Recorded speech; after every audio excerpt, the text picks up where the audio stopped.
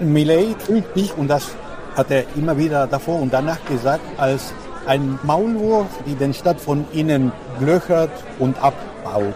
Und das fand tatsächlich statt.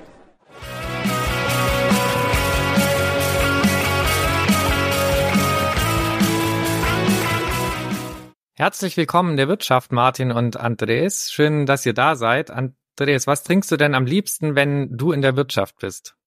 In der Kneipe trinke ich meistens kein Mate. Es ist nicht so äh, nicht so einfach mit Mate als Argentinier rumzulaufen. Das machen nur die Uruguayer.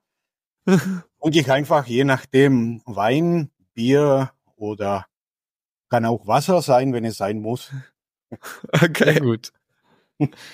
Du hast ein Mate, wir haben leider nur ein Wasser, äh, weil es noch früh morgens ist. Aber Prost. Ja, herzlich willkommen und bienvenidos zu unserer 66. Folge in der Wirtschaft, wo wir mit euch die Vielfalt der Wirtschaftswissenschaften kennenlernen wollen.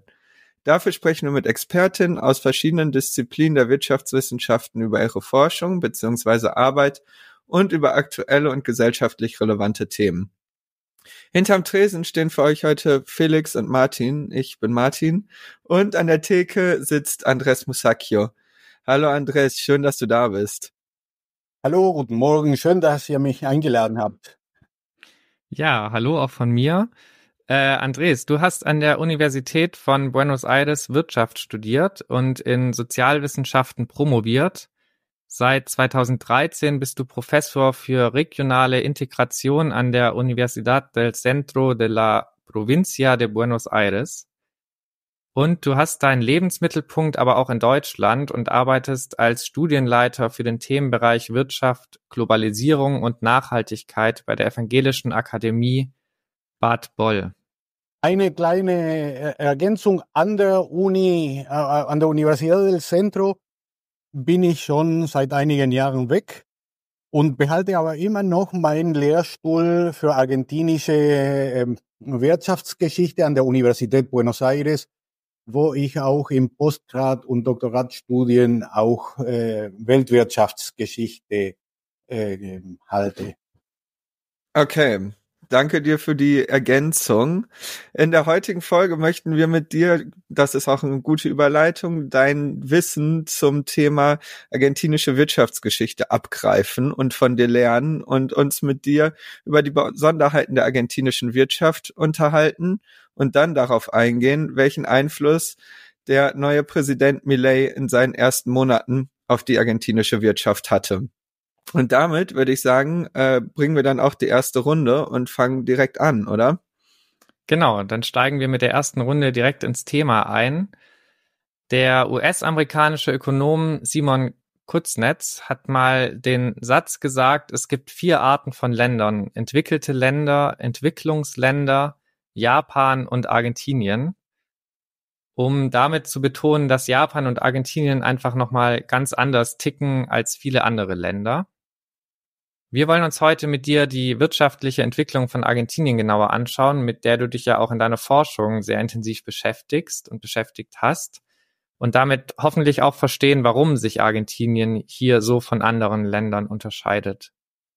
Und dafür wollen wir auch erstmal ein paar Jahrzehnte zurückschauen. Einen interessanten Fakt, den wir gefunden haben, als wir uns etwas die Wirtschaftsgeschichte von Argentinien angeschaut haben, ist, dass vor 100 Jahren das Pro-Kopf-Einkommen in Argentinien im globalen Vergleich sehr hoch war, beispielsweise auch äh, nochmal höher als in Deutschland zu der Zeit. Und deswegen die erste Frage an dich, Andres, was hat denn damals vor 100 Jahren, also dann so ungefähr im Jahr 1920 die Stärke der argentinischen Wirtschaft ausgemacht? Ja, das muss man ein bisschen Frage stellen, ob es tatsächlich so war.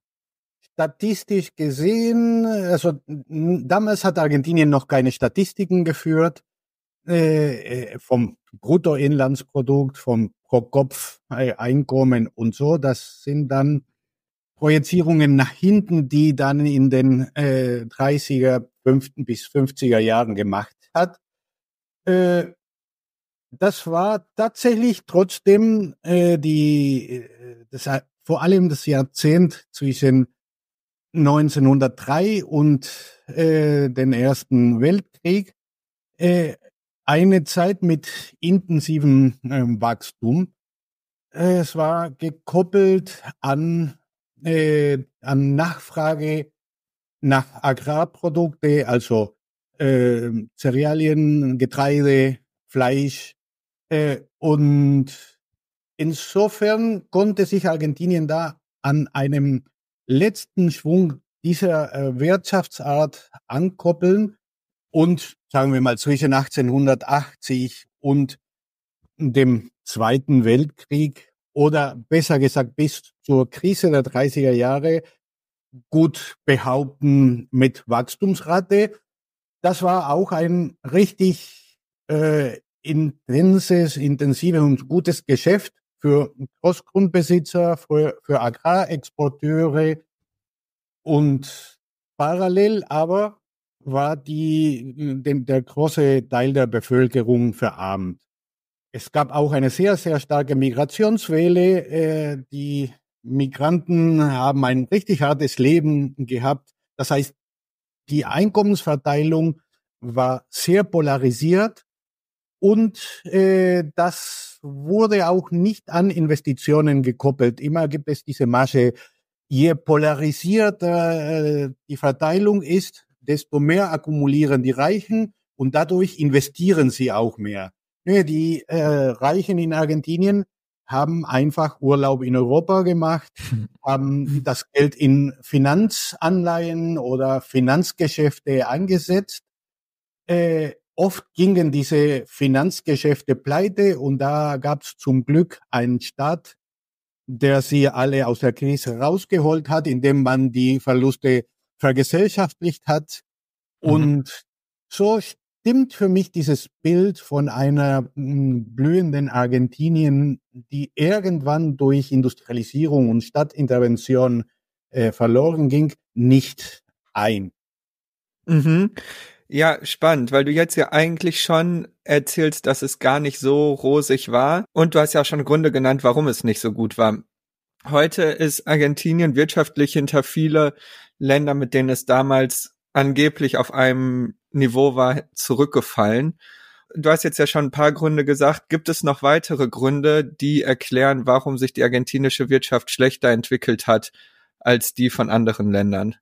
Ja, das äh, darüber könnten wir eine Stunde lang sprechen. Ja. Ich erwähne, ja. das werde ich natürlich nicht machen, aber ich erwähne zwei, drei wichtige Gründe. Zum einen war das sehr eng gekoppelt, wie ich schon gesagt habe, an äh, die Wachstumsraten der europäischen Ländern. Es gibt ein Wirtschaftsstadium ganz an, am Anfang, wo äh, Konsumenten sehr viel von dem, von dem, was sie neu verdienen, was sie mehr verdienen, in Lebensmittel äh, investieren. Wenn Bevölkerungsteile sehr arm sind, und ich denke an der Arbeiterklasse Großbritanniens äh, Ende des 19., Anfang des 20. Jahrhunderts. Ich, wenn die Löhne steigen, dann werden sie hauptsächlich für Lebensmittel verwendet. Wenn die Löhne weiterhin steigen, dann kauft man sich Klamotten. Mhm. Und wenn sie weiter steigen, dann kauft man sich erstmal ein Haus oder äh, irgendwelche äh, elektronische oder elektrische Geräte damals und so weiter. Das heißt, irgendwann, und das passierte zwischen den zwei Weltkriegen, hat sich diese Wachstum, die, dieses europäische Wachstum von den, von, von dem, was Argentinien anbieten konnte, abgekoppelt. Mhm. Plötzlich mhm. war dann die Nachfrage nach Agrarprodukten stagniert. Und das war einer der Gründe. Zweiter wichtiger Grund war, äh, in Argentinien war dieses Wachstum an, an extensiven äh, Prozessen gekoppelt. Was meine ich mit extensiven Prozessen? Man hat erstmal das komplette Territorium erobert. Das war sehr stark äh, verbunden mit einem Massenmord an einheimischen Bevölkerungen. So, aber dafür, da, danach braucht man, um dieses Land äh, in Produktion zu setzen, weitere äh, Prozesse. Man braucht Kommunikation zum Hafen, Hafenaufbau. man braucht Samen, man braucht Kühe und so weiter. Und das war ein viel langsamer Prozess, der entfaltete sich auch bis etwa zum Ersten Weltkrieg. Etwa zum Ersten Weltkrieg äh, war das ganze Land jetzt auch wirtschaftlich und nicht nur politisch ähm, besetzt und in Produktion. Mhm. Dadurch äh, gab es einen sehr starken äh, Zug zur Stagnierung. Mhm. Das heißt, dadurch, dass Argentinien dann in der Periode nicht von einer extensiven äh, zu einer intensiven Produktion gegangen ist durch Investitionen, durch mehr Maschinen, durch neue Produktionsformen und so weiter oder auch nicht in die Industrie diversifiziert hat, dann hat sich auch die argentinische Wirtschaft stagniert. Und das hatte nicht mit der Krise der 30er Jahre zu tun, sondern das war schon ein Prozess, der seit mindestens 15 Jahren in Gang war. Das heißt, zur Krise der 30er Jahre war diese Agrarexpansion zu Ende und im Vergleich zu Ländern wie Kanada oder Australien gab es keine staatlichen Politiken, die das in Richtung einer Industrialisierung gelenkt hat, sondern nur einfach die Finanzialisierung, die die, die Argentinien schon im, im, im Vordergrund hatte, nochmal gestärkt. Okay, ja, interessant. Das heißt, äh, Argentinien hat so ein bisschen die Industrialisierung ähm, verschlafen, wenn man es in einem Satz zusammenfassen möchte, und war auch dann sehr abhängig von Agrarexporten ähm, nach Europa, was mir jetzt gar nicht so äh, bewusst war, dass es damals schon so ein großer Faktor war. Genau. Die und, und, und die aus Nachfrage und Angebotsgründe stagniert war ab mhm. den 20er. Mhm. Ja. Wir haben jetzt leider nicht äh, die Zeit, die gesamte Wirtschaftsgeschichte uns von Argentinien anzuschauen. Wir wollen aber uns noch ein Ereignis rauspicken. Und zwar war ein sehr einschneidendes Ereignis und damit gehen wir dann noch mal ein paar Jahrzehnte mehr Richtung Gegenwart. Ein sehr einschneidendes Ereignis in der argentinischen Wirtschaftsgeschichte, die Krise 2001. Und da wollen wir noch mal kurz mit dir draufschauen. Wie kam es denn zu dieser Krise, beziehungsweise was war, woraus bestand diese Krise? Ja, die Krise bestand aus mehreren Elemente, die würde ich einordnen zu einer peripheren und finanzialisierte Wirtschaft gehören. Der Anfangsmix für die Politik in den 90er und das hatte man schon in den 70er versucht und das hat man nochmal wiederholt ab 2016 und das wird jetzt auch wiederholt, basierte auf feste Wechselkurse, um die Inflation zu verankern. Liberalisierung der Finanzmärkte und Öffnung des Außenhandels. In diesem Zusammenhang und mit auch noch den Versuch, Staatsunternehmen zu privatisieren, die davor rentabilisiert werden müssen und die davor auch von Subventionen herausgezogen werden müssen, äh, das bringt mit sich, dass die Preise der, das, was wir Volkswirte, die, die nicht handelbare Güter nennen, jetzt komme ich äh, auf die Erklärung, dass die doch noch trotz alle Anti-Inflationsmaßnahmen weiterhin steigen. Nicht handelbare Güter sind diejenigen, die nicht zum Außenhandel gehören und gehören können. Man kann zum Beispiel einen Stuhl im Ausland kaufen oder selbst produzieren. Man kann dasselbe machen mit dem Computer, aber man kann sich nicht Leitungswasser äh, aus Norwegen oder aus Uruguay holen. Diese Sachen, die, die können nicht durch den Außenhandel beeinflusst werden. Und wenn man sagt, wir stellen die Wirtschaft zur Konkurrenz der Exporte. Solche Branchen werden nicht zur Konkurrenz gestellt. Und, da, und dadurch, dass man auch Subventionen wegnimmt und sie rentabilisiert, also die profitabel macht, äh, damit sie verkauft werden können, dann steigen eine Zeit lang noch die Preise stark. Mhm. Argentinien hatte mit allen Preisstoppmaßnahmen trotzdem zwischen dem Jahre 91 und dem Jahre 95 so etwa wie 80 Prozent Inflation. Mhm. Das heißt, der Wechselkurs verschlechtert sich dadurch. Der Peso wird stärker. der Dollar, das ist die Mass, der Maßstab aller Dinge in Argentinien, wird billiger. Und das bedeutet für die Industrie eine externe Konkurrenz, die durch den Wechselkurs subventioniert wird. Nicht nur gleichgestellt, sondern äh, benachteilt. Und dadurch wurde ein großer Teil der Industrie platt gemacht. Äh, da hatten wir dann eine komplette äh, Veränderung der, der Produktionsstruktur, geleitet durch Finanzialisierung. Und was noch leben konnte, überleben konnte, sind die Sektoren, die äh, Sonderprofite kriegen. Also wenn ich äh, produzieren kann in der Agrarwirtschaft oder in, der Berg, in den Bergbau und alles, was ich am Umwelt vernichte, nicht in den Kosten zähle, da habe ich einen, einen Sonderprofit erzielt, dadurch, dass ich gewisse Kosten nicht berechnen werde. Und das ist genau in den 90er passiert. Und diese Sektoren sind aber Sektoren, die zuerst eventuell einen Investitionsschub brauchen, aber das ist ein kurzer Prozess. Und dann, wenn man Sonderprofite erzielt, dann hat man richtig viel Geld, die man nicht aber in die Produktion investiert, sondern in den Finanzen in, ins Ausland geschickt werden. Dadurch, dass man diese ganze Finanzwirtschaft durch hohe und immer höhere Zinsraten halten muss, weil das Land verschuldet sich dadurch jetzt mhm. entstehen äh, Außenverschuldung durch Handel, durch Finanzinvestitionen aus dem Ausland. Und wenn Geld kommt, um sich in den, als Finanzanlage zu behaupten, es wird konvertiert von Dollars auf Pesos, dann kriegt man, und ich spreche jetzt von oft äh, echte Zinsraten von Realzinsraten von 60, 70, 80 Prozent. Hm. Wenn das Geld ein Jahr später rauskommt, ein Dollar ist reingekommen, 1,80 sind rausgegangen. Mhm. Irgendwo müssen diese 80 Cent entstehen durch Verschuldung. Und in dem Prozess hilft natürlich immer der Währungsfonds, hilft auch die Weltbank.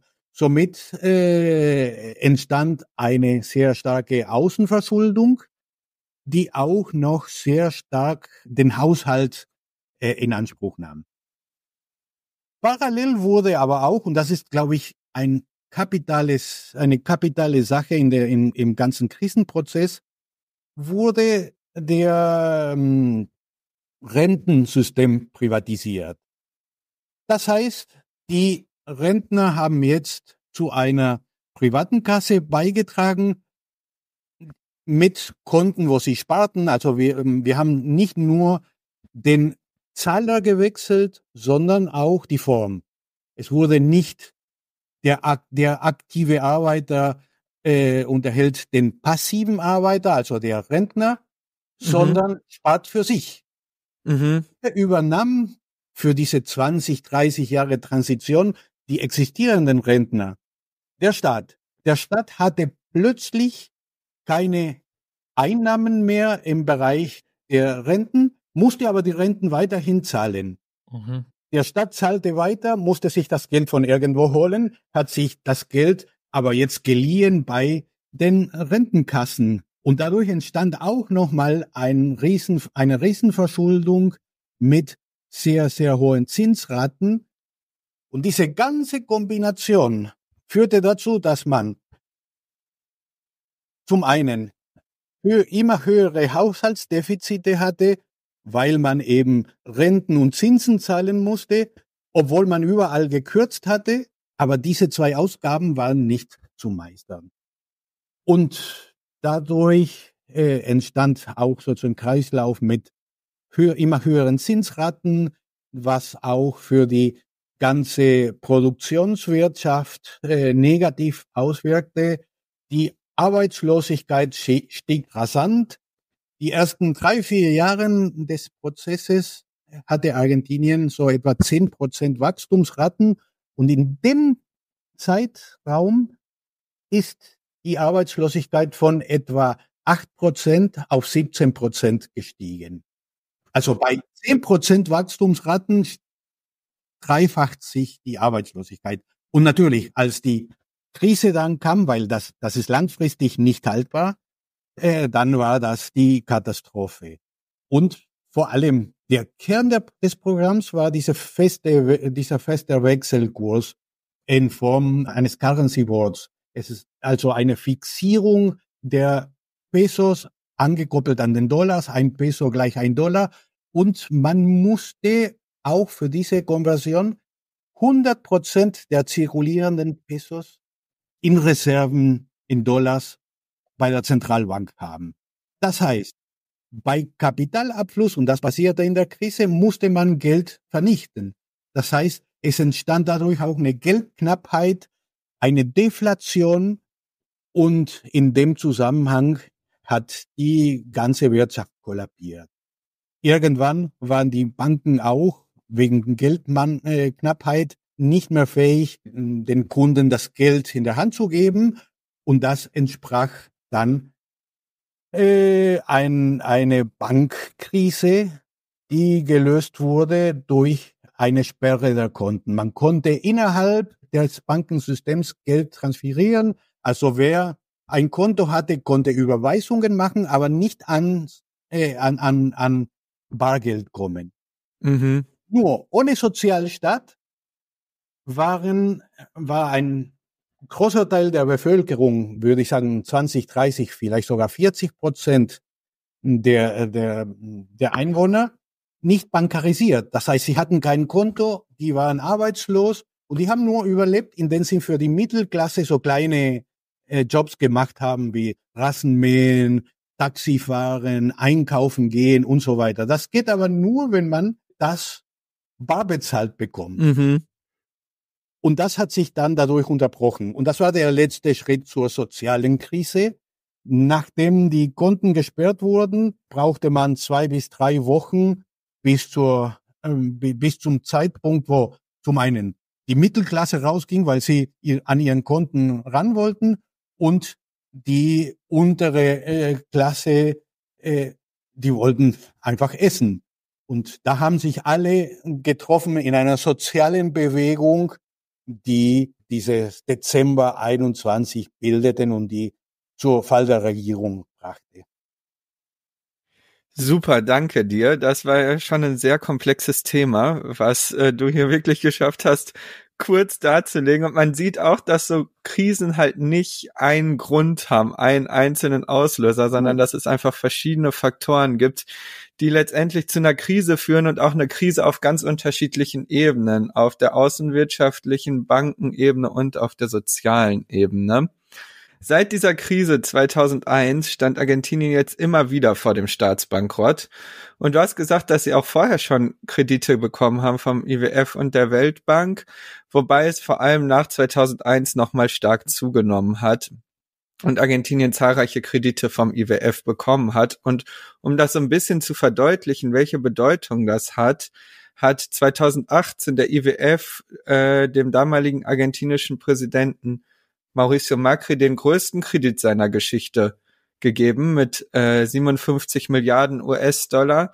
Und im Jahr 2023 entfielen 30 Prozent der gesamten ausstehenden Forderungen des IWF alleine auf Argentinien. Das heißt, es scheint ein besonderes Verhältnis zwischen Argentinien und dem IWF zu geben. Waren diese Kredite deiner Meinung nach denn sinnvoll und der richtige Ansatz, um einen Staatsbankrott zu verhindern? Vor der Krise 2001 hat der Währungsfonds reichliche Kredite vergeben, damit äh, die Regierung Dollars zur Verfügung hatte, um die Kapitalflucht zu unterstützen von privaten Anlegern, die weg wollten, bevor alles zusammenbricht. Ab dann gab es keine Kredite mehr, bis, äh, bis Macri äh, ins Spiel kam äh, 2016. Die ganze peronistische Regierung von den Kirchners, da hat man mit dem Währungsfonds folgende Politik geführt, nämlich man hat die ganzen Krediten bar bezahlt auf einmal zusammen mit Brasilien und Uruguay, um politische, um den politischen Einfluss des, des Währungsfonds zu vermeiden. Äh, mhm. Äh, der Währungsfonds Leid verlangt aber gewisse Politiken dann dementsprechend, um äh, um die Kredite zu vergeben und dann um die Kredite zu verwalten. Argentinien hat sich zwischen 2004 und 2015 entschuldet. Die Nettoverschuldung, das heißt, das, was man sich nicht intern schuldet, intern heißt im Staat selbst, mhm. Ist von über 100 Prozent des Bruttoinlandsprodukts auf etwa zwei oder 23 Prozent gesunken. Ab 2016 äh, begann wieder ein Prozess der Finanzialisierung. Wieder war das äh, Neuland für externe Anleger, für Crossbanken. Wieder hat man versucht, diese Kombination feste Wechselkurse, äh, eine strenge äh, Geldpolitik mit hohen Zinsraten, Öffnung der, der Finanzmärkte, damit die Kapitalen rein und raus können, so schnell und so, und so oft sie wollen. Dadurch gab es eine sehr starke Finanzstrom, äh, die sich in Finanz, in der Finanzwirtschaft investiert hat. Zwei Jahre später war die Verschuldung so hoch, und zwar auch mit dem Staat, der immer aktiv an diesen Prozessen teilnimmt, als Zahler in letzter Instanz, dass es plötzlich eine Kapitalflucht begann. Und da tauchte der Währungsfonds auf mit diesem größten Kredit aller Zeiten für den Währungsfonds, für, die, für Argentinien, gegen alle Währungsfondsnormen, denn der Währungsfonds hat auch Grenzen, mhm. Äh, mhm. die aber in dem Fall überschritten wurden in allen Formen. Und plötzlich war Argentinien wieder verschuldet. Womit hat man oder worin hat man das Geld investiert? In der, äh, in dem Erhalt der Wechselkursparität. Das heißt, man hat in einer Kapitalfluchtwelle einfach nur Dollars ver verwendet, um die Parität zwischen Dollar und Pesos äh, zu erhalten und dadurch dann die Kapitalflucht finanziert. Das heißt, ein Jahr später war das Geld des Währungsfonds verbraucht in dem, was eigentlich der Währungsfonds verbietet, denn diese, diese Unterstützung der Kapitalflucht ist ganz explizit in der Charta des Währungsfonds verboten. Im Falle Argentinien wurde das toleriert zumindest und das Geld war weg die Schulden blieben und natürlich kollabierte auch der Finanzmarkt und der Wechselkurs. Und da stand wieder Argentinien in einer Verschuldungskrise. Äh, es ist interessant und damit haben wir den ganzen Bild, glaube ich, komplett, dass man immer davon ausgeht, der Peronismus äh, gibt immer zu viel aus, verursacht ein langfristiges Defizit, das mit Verschuldung finanziert wird und dadurch kollabiert äh, die, die Wirtschaft und dann kommt die liberale Politik, die den Haushalt in Ordnung bringt. Und das ist in der Tatsache genau umgekehrt. Mhm. Mhm. Vielleicht noch mal ganz kurz für die Leute, die nicht äh, ganz äh, so befasst sind mit der argentinischen Wirtschaft oder der argentinischen Politik. Der Peronismus ist quasi eine links, sagen wir linksgerichtete politische Strömung, die in Argentinien quasi ab nach der großen Krise 2001 bis vor, bevor Macri dann die Präsidentschaft übernommen hatte, regiert hat und wie du eben erklärt hattest, äh, unter genau mit dem Präsidenten Nestor Kirchner und Christina Kirchner und äh, die halt, wie eben du eben gesagt hast, den versucht haben, den Schuldenstand deutlich zu reduzieren, bevor dann unter Macri die neuen Schulden aufgenommen wurden. Und das ist so ein bisschen der Punkt, den du gerade machen wolltest, oder? Um da nochmal den ja, Kontext ein bisschen ja, zu geben. Zum, zum Teil. Äh, da, da gibt es zwei, drei äh, Anmerkungen oder Ergänzungen.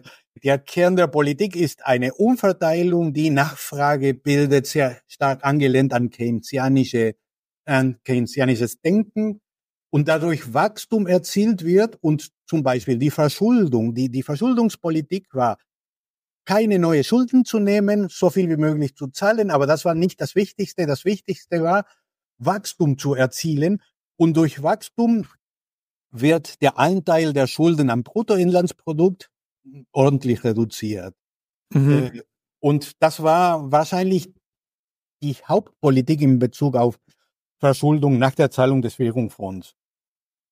Super, danke dir für diese Klarstellung und äh, nochmal Erklärung zu diesem Thema. Äh, vielen Dank dir vor allem für diesen wilden Ritt durch die argentinische Wirtschaftsgeschichte. Ich glaube, wir hätten da tatsächlich wahrscheinlich eine ganze Folgenreihe zu machen können zu dem Thema und ich hoffe, dass es immerhin einen ungefähren Einblick gab in einige der Aspekte, die wichtig sind, um zu verstehen, wie Argentinien sich wirtschaftlich entwickelt hat ähm, und bevor wir uns dann jetzt gleich in der Aktualität wiederfinden und drüber reden wollen, wie äh, was jetzt unter Millet passiert ist, machen wir eine kurze Auflockerungsrunde und ich bringe uns mal eine Runde kurze, damit ähm, wir einmal ein bisschen runterkommen können. Und nach dem Motto schnell getrunken, schnell geantwortet, äh, möchten wir dir ein paar Fragen stellen und du hast einen Joker, darfst also einen der kurzen überspringen. Dann fange ich mal an. Ja. Was ist denn deine Lieblingswirtschaft? Kneipe oder Café? Mein Café aus der Uni-Zeit, äh, das nicht mehr existiert, um die Ecke meiner Fakultät. Das war mein Lieblingscafé, weil ich da eigentlich viel Zeit in einer intensiven Lebensphase verbracht habe und äh, da war ich so, so das, das war mein, mein Wohnzimmer und was ist äh, dir wichtig, damit du dich in so einem Wohnzimmer äh, wohlfühlst oder in so einem Café? Äh, ein schönes Fenster mit Blick nach außen, so dass man wie im Fishbowl nach außen schauen kann, äh, sich mit den Kellnern, Kellnerinnen gut unterhalten zu können und äh, dass man sich immer wieder trifft und sich im Laufe der Zeit mit den Leuten auskennt, die da sitzen. Mhm. Wie plural sind die Wirtschaftswissenschaften in Argentinien? Äh, sehr nicht plural. ich habe den Glück, aus einer Universität zu kommen, die 60.000 Studenten hat und Studentinnen. Und dann gibt es pro Kurs äh, oder pro Fach mehrere Kurse und es gibt immer einen alternativen Kurs.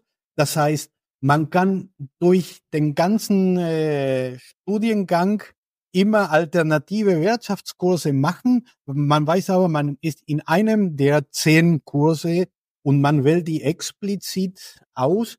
Und dafür muss man sie aber auch suchen wollen. Ansonsten mhm. ist es immer, äh, außer in ein paar kleinen Unis in dem Groß Buenos Aires, immer prädominiert die neoklassische Wirtschaft und die neoklassische Sichtweise. Okay, aber es gibt immerhin so ein bisschen die Möglichkeit, wenn man Interesse hat. Ja, genau. Das Messi, Messi oder Maradona? Maradona. Das ist ein anderer Sport. äh, in Argentinien waren sehr bekannt die Globetrotters, die so künstliches Basketball gespielt haben. Maradona war so wie ein Globetrotter, der im Ernst gespielt hat, aber nur aus reiner Fantasie alles gemacht hat.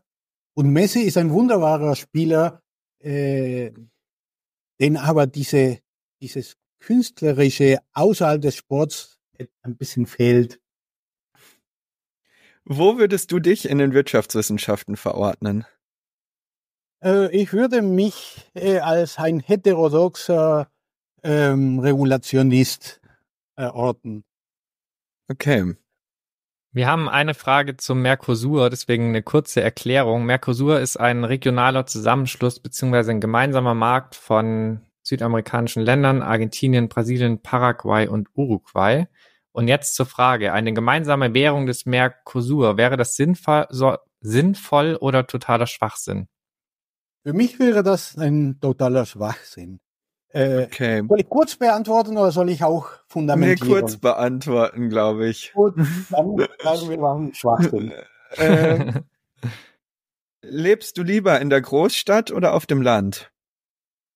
Äh, ich lebe am liebsten in mittelgroße Städte. Okay. Wer ist für dich die bedeutendste Ökonomin oder Politikwissenschaftlerin?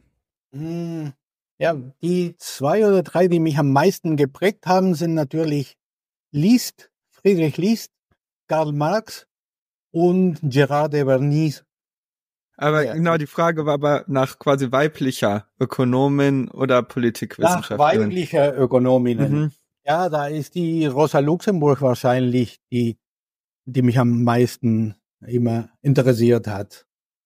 Welche Theorie aus Lateinamerika sollten Wirtschaftsstudierende in Deutschland kennen?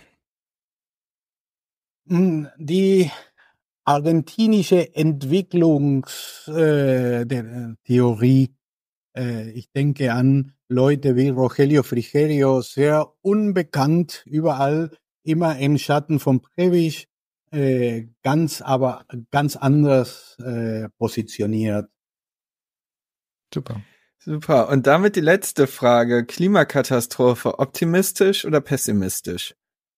Bin eher pessimistisch. Okay. Danke dir für, dass du dich darauf eingelassen hast, auf die Runde kurze.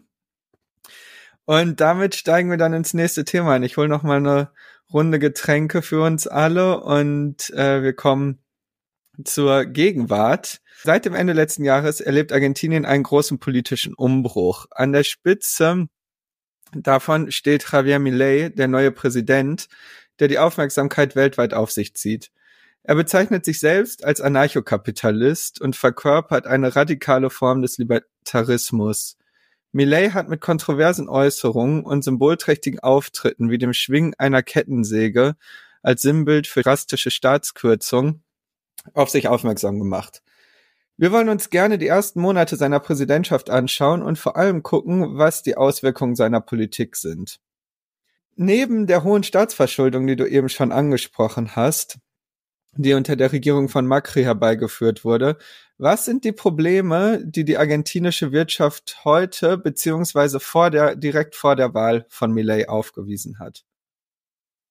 Ich würde sagen, strukturell litt Argentinien in den letzten Dekaden unter einer keinen strukturellen Politik, die die Industrie aufbaut mit Planung, mit Ziel, und die letzten vier Jahre vor Millet, da kam wieder eine Regierung aus dem Peronismus, sehr schwach, aber und dazu noch hat die Regierung die zehn Plagen oder die drei Plagen erlebt, die jede Regierung äh, zersprengen können. Zu, zuerst die Pandemie.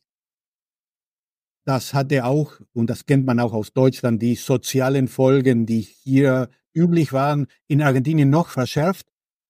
Als das einigermaßen überwunden war, kam der Krieg zwischen, zwischen Russland und Ukraine. Äh, wir kennen aus Deutschland den Preiseschub. Das muss man auch denken in einem Land, was hauptsächlich Energieprodukte und Agrarprodukte erzeugt und exportiert. Der Schub bewirkt sofort und noch stärker als Inflation im Inland und als Verschlechterung der, äh, der, der Kaufkraft der Löhne.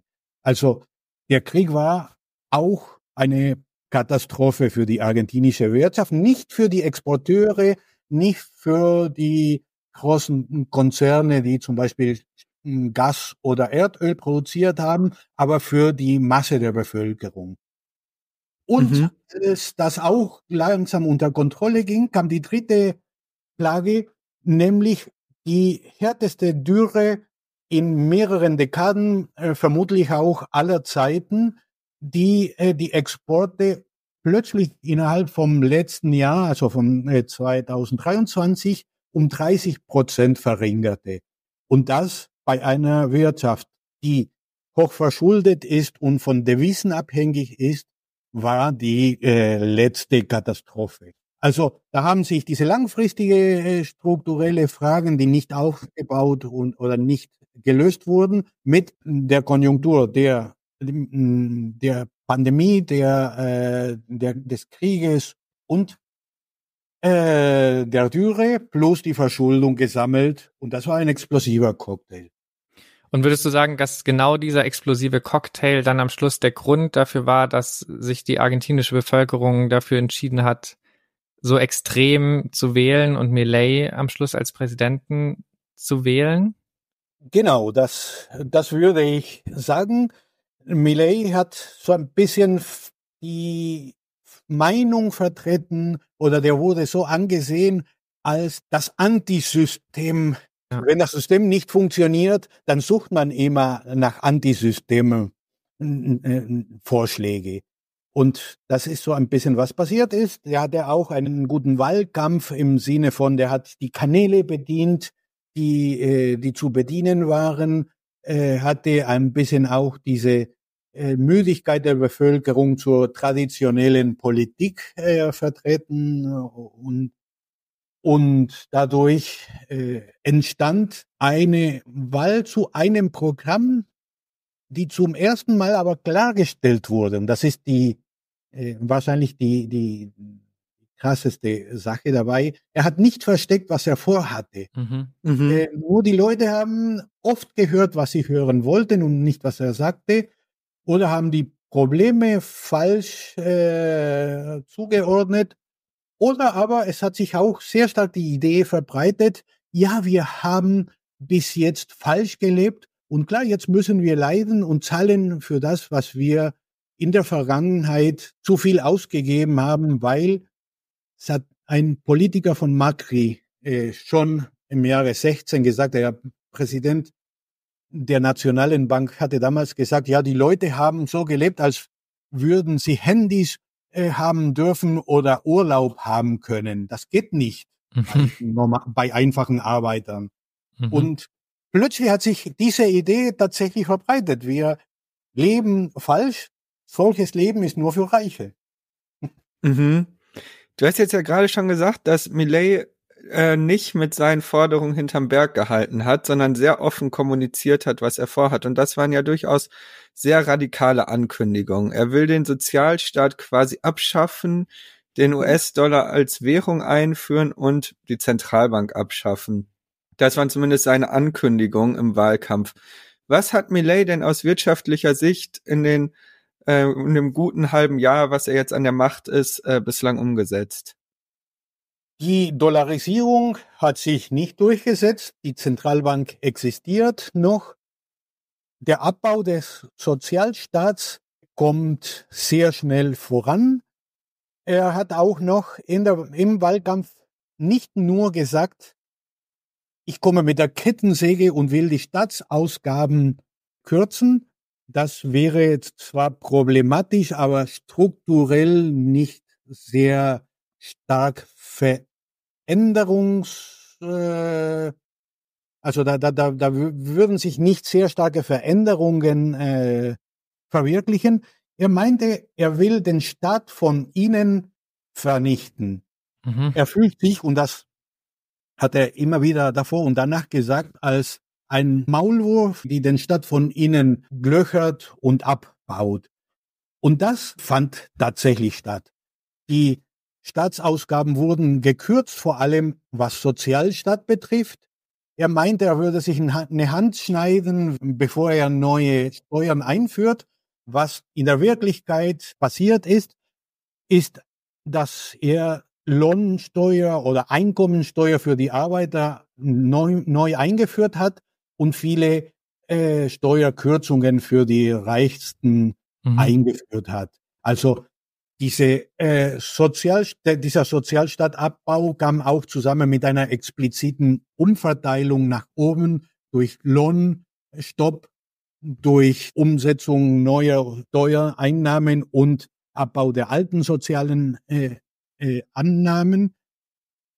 Und der läuft jetzt auch in Richtung einer Arbeitsmarktreform. Und was jetzt genehmigt wurde vom Parlament und vor Reglementierung äh, bei ihm steht, ist ein neues System für ausländische Investitionen, ausländische Großinvestitionen über 200 Millionen Dollar, die im Bereich der Rohstoffe und der Dienstleistungen alle Begünstigungen, die man sich vorstellen kann, haben. Zum einen äh, einen viel, einen viel niedrigeren Steuersatz als alle anderen Unternehmen in Verträgen, die mindestens 50 Jahre lang sind. Die äh, müssen keine Zollsteuern zahlen für die Importe von, äh, von, von Maschinen, von, von Kapitalgütern, von Geldtransferen, keine Exportsteuern, wenn sie die Produkte exportieren. Sie besitzen das, was sie erzeugen, zum Beispiel das Lithium, es, es ist vor allem bezogen auf Lithium, Wasserstoff, äh, Erdöl, Gas. Sie sind die Besitzer davon und dürfen das so benutzen, wie sie wollen. Wenn sie alles exportieren wollen, das dürfen sie das steuerfrei. Äh, das heißt, das macht die Wirtschaft Argentinien, äh, äh, Argentiniens offen für, würde ich sagen, Raubbau von natürlichen Ressourcen. Mhm. Von dem am Schluss dann vor allem internationale oder ausländische äh, Unternehmen profitieren. Tatsächlich, und das war ein, ein Problem für die inländischen Konzerne, die solche Begünstigungen nicht haben, weil man neue Kapitalien aus dem Ausland mhm. äh, reinholen muss. Äh, und deshalb ist das ganz deutlich differenziert äh, zwischen inländischen und ausländischen Konzernen. Dazu noch gibt's nicht für Kontroversen die normalen Gerichtshöfen Argentiniens, sondern der Exit beim, bei der Weltbank, äh, was auch dazu führt, dass Argentinien nicht gegen die Konzerne agieren kann, weil das mhm. nicht möglich ist in diesem Rahmen und, und, und. Und da stehen wir zum Anfang unseres Gesprächs. Denn das war ein bisschen, würde ich sagen, heute noch radikalisierter und noch äh, enger gebunden an ausländischen Investoren. Äh, das Bild vom Ende des 19., Anfang des 20. Jahrhunderts. Ein Land reich an gewissen natürlichen Ressourcen, äh, die, äh, die ausgebeutet werden, mhm. um äh, sie exportiert zu werden und von denen das Volk, das Land nichts bekommt oder nur kurz wenig bekommt. Und keine und Wertschöpfung im Land aufgebaut. Einfach ins, ins Ausland. Die Konditionen für den Raubbau sind für 50 Jahre gesetzt. Und deswegen ist dieser, dieses Projekt für mich äh, katastrophal. Alles andere mhm. kann äh, vielleicht mit einer anderen Politik im Laufe von einer Dekade oder so äh, um, äh, umstellen. Äh, das kann man äh, man, man verpasst genau die Möglichkeit, einen Entwicklungssprung zu machen, wo man alle Grundlagen hatte. Und wenn du jetzt sagst, dass es eigentlich relativ offensichtlich ist, dass hier gerade irgendwie ein kapitaler Fehler gemacht wird äh, mit dieser verpassten Chance und auch ein Fehler wiederholt wird, der so vor über 100 Jahren eigentlich auch schon mal passiert ist, was ist denn dann die Motivation von Millet oder was ist das Ziel von Millet, eben diese Politikmaßnahmen durchzusetzen? Ja, also er stellt sich vor als ein theoretischer Volkswirt, der radikale neue Ansätze bringt und deshalb den Nobelpreis äh, bekommen sollte, mhm. hat er explizit gesagt. Das ist nicht ein Witz von mir, sondern er sagt, die, die, äh, man sollte seine Beiträge anschauen und sich überlegen, ob er nicht den Nobelpreis bekommen sollte. Mhm. Äh, letztendlich ist aber seine Politik eine Wiederholung von alten Politiken mit ein paar Neuigkeiten, die aber nicht zur Sache machen. Die die Politik äh, des Kapitals und der Geostrategie der USA äh, unterstützt und dadurch äh, ist eigentlich nichts Neues in dem Sinne. Äh, sein Ziel ist eben, diese Verbreitung ausländischer Konzerne zu ermöglichen, die Anlehnung der argentinischen Wirtschaft an den USA so fest zu nageln, dass sie nach vorne nicht verändert werden kann, was natürlich ordentliche Konflikte mit China, mit Brasilien bringt und in beiden Fällen die Länder am Rande der Beziehungen stellt. Und jo, das, das ist es hauptsächlich. Und natürlich den Staat so umzubauen, dass er nicht mehr interventionsfähig ist im Sinne von Sozialstaat, Regulierungen, Marktregulierungen, aber immer noch einen repressiven Dispositiv äh, erstellt, der diese, äh, diese Grundlagen, die er setzen will, dann nach vorne mit Gewalt verteidigen kann. Und da ist ein wichtiger Punkt zum Beispiel äh, die neue, also es gab in Argentinien über Dekaden als interne Spionage äh, den Sicherheitsdienst, die Servicios de Inteligencia del Estado, und die wurde abgeschafft während den, den Kirchneristen und jetzt ist diese Stelle neu aufgebaut worden mit zahlreichen Mitteln und mit dem, mit der Möglichkeit nicht zu erklären, weder was sie machen noch worin sie das Geld stecken. Das mhm. heißt, es wird auch ein Spionagedispositiv aufgebaut, das diese repressive Politik unterstützt.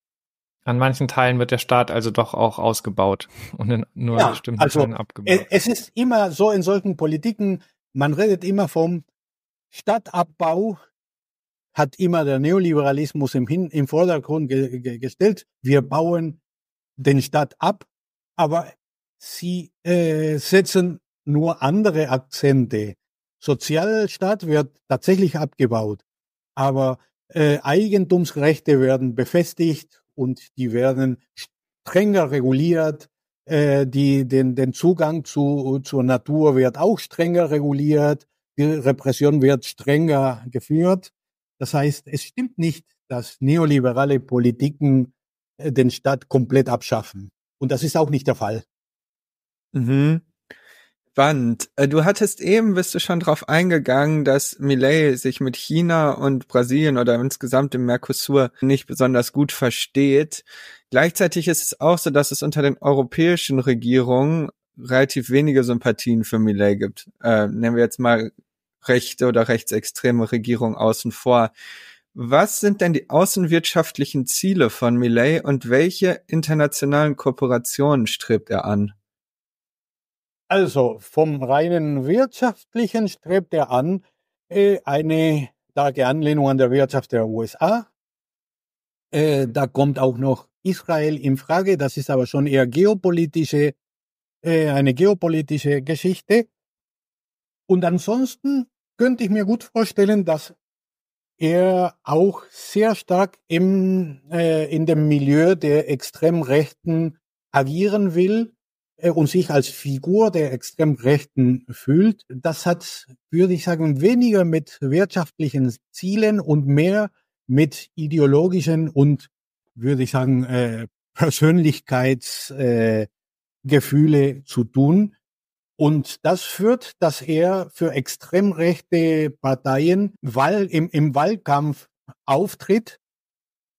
Der letzte große Krach war mit Spanien, wo er mhm äh, immer wieder in Spanien war, um, äh, um, Wahl, um, um für den Wahlkampf von Vox äh, mitzustreiten mhm. und gegen die spanische Regierung, äh, was fast die Beziehungen zwischen Argentinien und Spanien äh, zum Bruch gebracht hat. Aber ich habe selten gesehen, dass jemand äh, Wahlkampf in einem anderen Land führt, mhm. Ähm, wie Millet das immer wieder und überall macht. Es gab vor zwei oder drei Wochen ein Treffen des Mercosurs, wo alle Präsidenten sich getroffen hat. Der hat die Außenministerin geschickt. Er selbst hat einen, an einem Meeting von Bolsonaro äh, teilgenommen in Brasilien, während sich die anderen Präsidenten die, des Mercosur in Paraguay getroffen haben. Und in der Tribüne hat er gegen den Kommunisten äh, und, und korrupten Lula gesprochen, was auch wieder die Beziehungen fast zum Bruch gebracht haben. Und das macht er mhm. ständig überall. Mhm. Das hat, glaube ich, aber nicht mit wirtschaftlichen Fragen zu tun. Mit wirtschaftlichen Fragen hat zu tun zum Beispiel den Austritt. Äh, Argentinien war Ende 23 ähm, an den BRICS beigetreten das hatte sich noch nicht förmlich äh, verwirklicht und er hat das zurückgenommen, Millet. Das hatte tatsächlich mit dieser Bindung an den USA zu tun, eher als mit politischen Gründen. Aber ansonsten agiert er auch sehr stark politisch. Mhm. Jetzt meintest du ja, dass Millet, auch wenn er es vielleicht noch nicht geschafft hat, den Dollar als Währung einzuführen oder die Zentralbank abzuschaffen, trotzdem schon sehr, sehr viel durchgebracht hat und schon große Gesetzespakete äh, beschlossen wurden, die eben beispielsweise dazu geführt haben, dass es schon einen sehr starken Sozialabbau gab, der Haushalt schon sehr stark gekürzt wurde. Sieht man schon, ist, er ist jetzt erst seit einem halben Jahr äh, oder mehr als ein bisschen mehr als einem halben Jahr an der Macht, aber sieht man jetzt schon erste Folgen der Präsidentschaft von Millet und ähm, dieser radikalen libertären Politik? Ich wusste, dass diese Frage kommt und dann habe ich heute Morgen noch ein paar Zahlen aufgeschrieben. äh, die offiziellen Zahlen äh, sind oft äh, trimestral, also quartalmäßig und dann gibt es noch nur äh, erstmal nur die vom ersten Quartal. Mhm. Die vom zweiten Quartal müssten in den nächsten Tagen veröffentlicht werden. Das fing an mit einer Abwertung von etwa 60 Prozent. Also der Dollar hat fast den Preis äh, mehr als verdoppelt äh, in, an einem Tag. Und ab dann fing es an, natürlich hat das die Inflation nach oben getrieben, so dass wir äh, im ersten Halbjahr 80 Prozent Inflation hatten. Das entspricht so etwa fast 200 Prozent Inflation, also wesentlich höher als letztes Jahr. Jetzt sinkt's langsam, aber es sinkt durch die starke Depression, die er eingeführt hat. Ähm, die Industrie ist zum Beispiel um 20 Prozent zurückgegangen. Im Bau, wo er alle Staatsverträge gestrichen hat, ist bis im ersten Quartal, und das geht weiter, aber um 25 Prozent äh, die Produktion geschrumpft. Die, die ungebrauchte Kapazität in der Industrie. Das heißt, das, was man potenziell, potenziell benutzen könnte, aber aus der Depression, nicht nutzt, ist äh, etwa 44 Prozent. Das heißt, die, die Industrie arbeitet nur auf 56 Prozent von dem, was die produzieren könnten. Die Agrarproduktion ist nicht stark äh, nach oben gegangen, obwohl die Dürre jetzt schon aufgegeben hat. Die Arbeitslosigkeit ist um zwei Prozentpunkte gestiegen. Das steigt aber noch, noch mehr. Der Konsum schrumpft zusammen. Äh, die Einkommensverteilung polarisiert sich auch rasant. Äh, noch ist die Verschuldung, die, die externe Verschuldung nicht gestiegen, weil weder Währungsfonds noch Finanzbanken Geld an die Regierung leihen. Aber intern ist die Verschuldung auch äh, bis zum Explosionsrand gestiegen. Das heißt, die Folgen sind gewaltig und katastrophal. Und vielleicht das Hauptdatum. Die Armut ist um 20 Prozentpunkte gestiegen. Jetzt sind fast 60 Prozent der, ähm, der Bevölkerung von Armut getroffen, äh, wo es früher unter 40 Prozent war und was mhm. schon auch war. Man, man muss immer auch die Größe der Wirtschaft Argentiniens im Blick haben. Trotz allem war bis Dezember Argentinien die 25 größte Wirtschaft der Welt mit einem Bruttoinlandsprodukt unter seiner Produktionskapazität, das doch 14.000 äh, Dollar pro Kopf betrug, äh, die gut verteilt nicht mit Armut kompatibel wären. Das heißt, wenn in Argentinien, in der argentinischen Wirtschaft Armut gibt, heißt es nicht, die, die, die Wirtschaft produziert zu wenig, sondern es wird sehr schlecht verteilt. Und klar, nach vorne baut man sich auch durch die Finanzwirtschaft Produktionskapazität ab. Und das äh, führt Argentinien zum Sinken. Aber es ist immer noch die 25. Wirtschaft der Welt. Und das sollte äh, eigentlich nicht zu solchen Krisen führen. Mhm.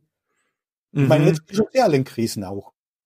Genau, ja, also die Folgen, die du jetzt hier aufzeigst, sind ja wirklich katastrophal. Also eigentlich kann man sagen, alle Indikatoren, die du aufgelistet hast, haben sich äh, tendenziell verschlechtert bis hin zu, haben sich rapide verschlechtert. Ähm, und Ein damit, Vergleich, wenn vielleicht, äh, vielleicht auch hilft, Argentinien steht jetzt äh, genau auf der gleichen Ebene wie im schlimmsten Punkt der Pandemie. Mhm. Mhm. Ich würde noch, ich würd noch eine Zwischenfrage einschieben und zwar ist es aber ja auch ähm, das, was Milley prophezeit hat. Ne? Er hat ja gesagt, ähm, am Anfang müssen wir irgendwie durch sechs harte Monate gehen oder am Anfang müssen wir leiden, um dann später irgendwie davon profitieren zu können. Was ist deine Einschätzung? Meinst du, in zwei Monaten wird alles besser oder? Nee, das, das kann ich mir nicht vorstellen. Ja. Und vor allem, ich habe die Daten von Abwertung und Inflation erzählt. Äh, eine 60-prozentige Abwertung des Pesos und inzwischen aber auch eine 80 Prozent existierende Inflation heißt, dass der, äh, dass die Wechselkursparität sich im Bezug auf Dezember nochmal verschlechtert hat und man nimmt an, dass man nochmal eine Abwertung äh, auf kürzerer Länge praktiziert und das äh, bringt die Inflation äh, wieder auf alten, äh, auf der alten Ebene. Und wie gesagt, die Kosten, um diese Inflation zu senken, die in den letzten sechs Monaten stattfanden, sind zu katastrophal. Also da kann man nichts verändern. Man müsste eine radikal andere Politik betreiben, äh, was er aber nicht machen wird, weil es nicht in seinem Programm steht. Und äh, ohne eine Wiederbelebung der Konjunktur durch wieder Eingriff des Staats in der Nachfrage, eine Umkehrung der Verteilungsprozesse und so weiter, ist ja nichts zu meistern. Insofern nach vorne äh, ist es fraglich, dass sich das erholt. Konjunkturell, strukturell, wie gesagt, entsteht da eine Plünderungspolitik die dazu führt, dass einfach die natürlichen Ressourcen, äh, die einen Entwicklungsprozess finanzieren könnten, äh, äh, abgehen. Du zeigst ja auch, dass das Bild schon recht schlecht ist von der wirtschaftlichen Entwicklung. Und ich glaube, damit würden wir vielleicht zu dem Deckel kommen, den unser letzter Gast hier für dich liegen lassen hat. Es war Patrick Schreiner, der bei uns zu Gast war, mit dem wir über den Sozialstaat gesprochen haben, der also äh, in dem Thema drin ist, wenn auch im deutschen Kontext. Und er hat äh, dir folgende Nachricht hinterlassen und möchte von dir wissen, wie du dir die relativ hohe Zufriedenheit mit Millet erklärst, trotz der brutalen Sozialkürzung, die schon stattgefunden haben. Ja, das ist so ein bisschen ein, ein Rätsel. Wie gesagt, die schlechten Politik der letzten acht Jahren äh, die Tatsache auch, dass die letzten vier Jahren äh, äh, einen Peronisten in der Regierung fanden, der eigentlich die alternative Politik hätte durchführen sollen und es nicht geschafft hat, äh, haben die Leute sehr stark enttäuscht. Äh, insofern war die Bevölkerung, ein Teil der Bevölkerung, die Hälfte der Bevölkerung nur, dazu geneigt, so eine radikale Politik zu unterstützen. Man muss sagen, in den Wahlen hat Millet nur 30 Prozent der Stimmen bekommen, dann in den Stichwahlen war es knapp über 50 Prozent. Und trotzdem muss man sagen, ich sehe noch keine Umkehrung dieser Unterstützung. Zum einen äh, mit der Idee, es kommt noch was. Irgendwann äh, ist der Staat so abgebaut, dass er uns nicht mehr ausbeutet. Und das war eigentlich das, was uns unterdrückt hatte, ohne zu merken, dass ohne Sozialstaat nicht geht. Äh, andere glauben tatsächlich an diese, das muss man auch so ein bisschen soziologisch, philosophisch betrachten. Äh, der Neoliberalismus predigt seit mindestens 40 Jahren, dass diese äh, soziale Gerechtigkeit nur eine kommunistische Sache ist und dass eine Gesellschaft nur äh, sich behaupten kann, wenn die Individuen, und das gibt's nur die Individuen, äh, sich behaupten können. Dafür brauchen sie nicht Staat, sondern eigene Motivation. Und wenn sie es nicht schaffen, dann waren sie nicht gut genug. Und diese Predigt kam an, nicht nur in Argentinien, auch in Deutschland, auch überall. Äh, und, und, und davon spürt man auch ein Teil. Und da bin ich selbst schuld, wenn ich nicht die Grundlagen ausgenutzt habe. Das ist die zweite, äh, die, die zweite Antwort, die ich geben kann. Die dritte mhm. Antwort ist, dass es sich bisher keine Alternative gebildet hat. Mhm. Mhm. Und genau diejenigen, die die Alternative bilden sollen, sind die, die abgewählt wurden. Mhm. Insofern äh, ist es viel schwieriger als, äh, als im Jahre 2001, wo genau die Alternative von außen kam. Diejenigen, die jetzt die Alternative bilden sollten, haben schon vier Jahre lang, lang regiert und die Lage war danach schlechter. Mhm. mhm. Insofern äh, muss man den, das Argument auch nicht unterschätzen. Mhm. Das heißt, wenn es keine Alternative gerade gibt, werden die Menschen in Argentinien jetzt die nächsten Jahre mit Millet leben müssen? Oder wie siehst du die nächsten Monate und Jahre?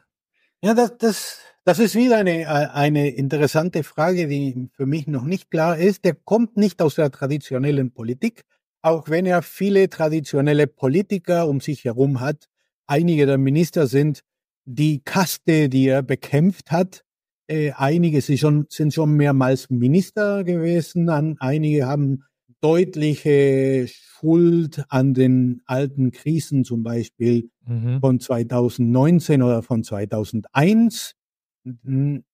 Aber insgesamt hatte er keine richtige Partei hinter sich. Und dann hat er zusammengesammelt, was er nur für Regierungsposten sammeln konnte. Und da gibt es einen ewigen Streit. Mehrere Minister sind schon gewechselt worden. Da gibt es eine politische Unfähigkeit, die zu groß ist und die immer wieder äh, die Regierung in Schach setzt. Die natürliche Nachfolgerin, wenn er äh, kündigen würde, ist die Vizepräsidentin.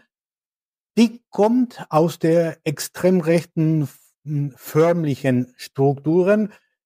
Sie ist auch politisch sehr fähig und agiert schon seit langem mit der Idee, früher oder später ist sie dran, weil Millet das nicht politisch durchhält. Mhm.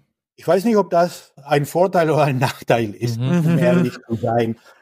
Das heißt, du siehst jetzt aber gerade nicht irgendwie, dass sich in den nächsten Wochen oder Monaten nochmal große linke Protestbewegungen irgendwie bilden, die so eine Stärke irgendwie auf die Straße bringen würden oder durch die Gewerkschaften und Streiks oder ähnliches, ähm, dass eine Regierung unter Millet zurücktreten müsste oder ähnliches?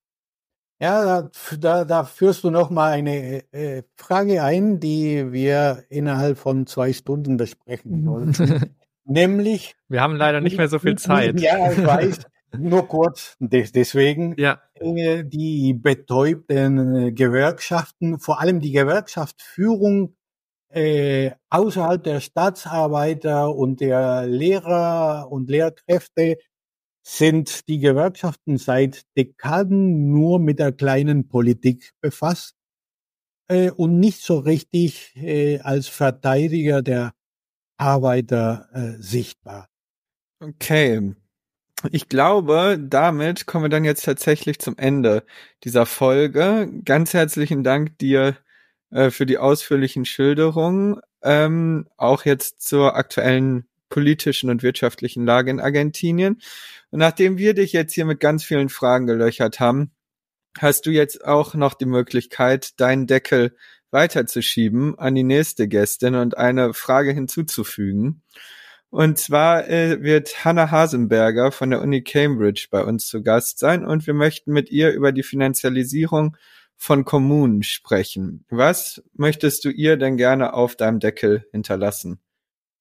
Ja, eine Frage, die sich vielleicht mit, mit den äh, vorigen Reflexionen bindet, aber auch mit meinen Arbeiten über die über den europäischen Prozess und über die europäische Finanzialisierung, äh, die sich nicht nur an dem wirtschaftlichen, sondern hauptsächlich vielleicht an dem politischen wendet. Nämlich gibt es über eine Zusammenarbeit der Finanzialisierung und der Kommunen und der Staaten die Möglichkeit, demokratische Prozesse zu stärken, Gibt es Alternativen? Gibt es Möglichkeiten und, und, und Räume für eine andere demokratische Entwicklung und welche Politiken sollten äh, dabei gedacht werden? Wie kann man eine Stadtpolitik im Rahmen der Finanzialisierung gedacht werden, um diese Prozesse zu stärken? Oder muss man aus der Finanzialisierung komplett raus? Super. Super, danke dir für Aber diese steht Frage. eigentlich auch zur Folge für nächstes, für nächstes Mal. Ja, danke dir für diese äh, komplexe Frage. Ja, ja, jetzt müsst ihr das so weiterreichen werden. zusammenfassen. Genau. Ähm, und jetzt ist es noch so, bei uns hier in der Wirtschaft kommen ja immer wieder Leute vorbei, die hier Plakate und Flyer auslegen. Möchtest du auch einen Tipp für eine Veranstaltung oder ein Buch für unsere BesucherInnen hinterlassen? dass sie unbedingt lesen sollten. Mhm. Ja, auf jeden Fall würde ich zu einem Klassiker zurückgehen, den ich schon erwähnt habe, nämlich äh, das Buch von Friedrich List. Mhm. Äh, Friedrich List ist so ein Volkswirt, der immer falsch interpretiert wurde als nur der Verteidiger des Protektionismus. Und eigentlich ist seine Theorie eine Theorie der Entwicklung der Produktivkräfte. Vielen Dank für den ähm, Buchtipp. Vor allem aber vielen, vielen Dank, äh, dass du da warst und für das spannende Gespräch und deinen Besuch ähm, hier bei uns in der Wirtschaft. Und vielen Dank auch nochmal unsere Hörerinnen fürs Einschalten. Einen besonderen Dank gilt äh, den Leuten an unserem Stammtisch, Leo, Theo, Claudius und Luca, die uns monatlich unterstützen und so unsere Wirtschaft am Laufen halten. Hier sind auf jeden Fall auch noch ein paar Stühle frei und bei Patreon könnt ihr auch zu Stammgästin werden. In den Show Notes erfahrt ihr wie. Und damit würden wir die Wirtschaft für heute schließen. Ähm, haben uns sehr über das interessante Gespräch mit dir gefreut und sagen Tschüss. Tschüss. Ciao, ciao. Ciao.